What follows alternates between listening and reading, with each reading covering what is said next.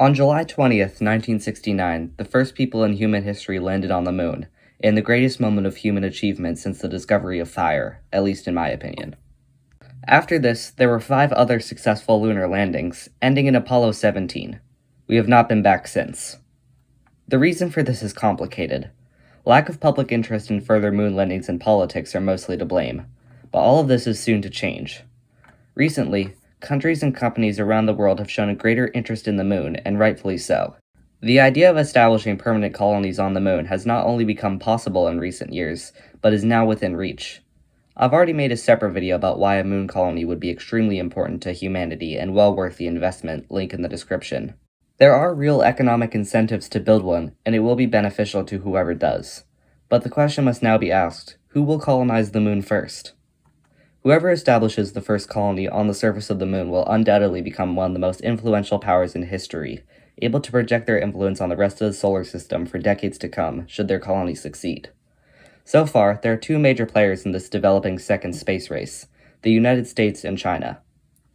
On one side, NASA has already begun the Artemis program, one of NASA's most ambitious projects yet, involving creating a series of missions that aims to put the first people back on the moon in over 50 years, build a lunar space station, and, most importantly, establish a permanent human presence on the moon. Artemis 1, the first in this series of missions, has already launched successfully, and preparations have begun for Artemis 2, which, as of the time of making this video, should launch in September of 2025.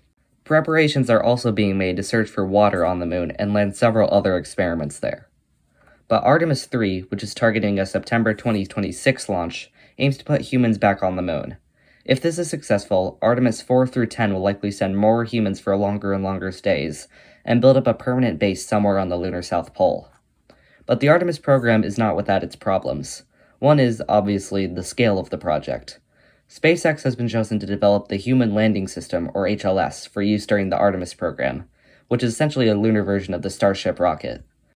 The HLS is necessary to land large amounts of people and cargo on the moon, and is far bigger and more complicated than anything ever landed on the moon before.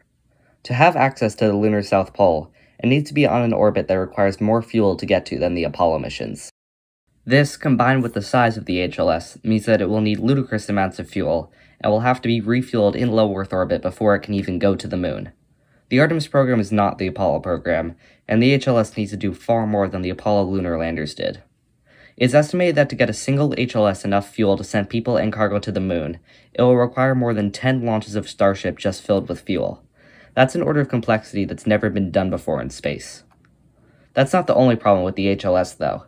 Because of the scale of what needs to be done, it's unknown if SpaceX will be ready for 2026 for Artemis 3, especially because, as of the time of making this, Starship has not successfully reached orbit. If SpaceX cannot complete the human landing system in time, the landing of humans on the moon could be delayed until Artemis 4, and Artemis 3 will be a different mission entirely. This is a real possibility. Another problem doesn't have to do with the Artemis program at all, but has to do with the public's perception. From what I've seen, many people simply aren't as interested in the Artemis program as people were in Apollo, despite the fact that Artemis dwarfs Apollo in scale and complexity. The United States seems to become comfortable in space, and many simply don't know what's at stake with the Artemis program.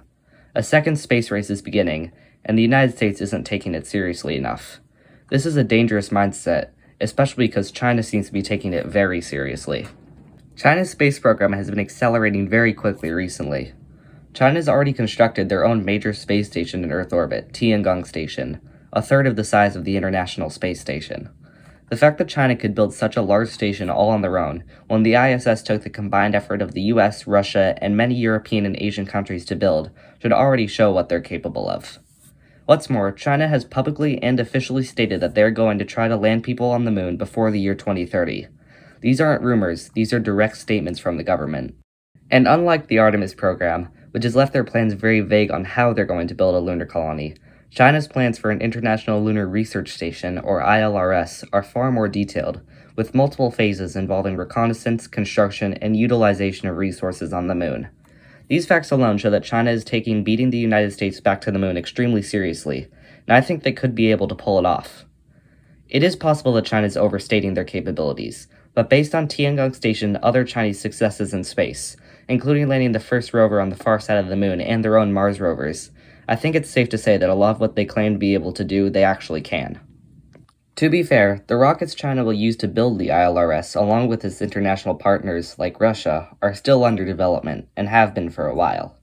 Meanwhile, the United States already has the Space Launch System and Starship, putting them ahead. Plus, we've already sent people to the moon, so we have experience in that regard. The United States has clear advantages in this race already, but with the delays involving Starship and severe lack of public interest in the Artemis program I've seen, there's a small but real possibility that it will be China that establishes the first colony on the moon, and not the United States. While I don't think this is likely to happen, there's a real chance it could, and it's not something many Americans are taking seriously. I think we should. A second space race is beginning, and we're just at the start of it. And this one will likely be far more important than the first, as the first human colonies on other worlds will be developed by the end of it. This will launch humanity into a new age, with huge leaps forward in technology directly benefiting everyone on Earth.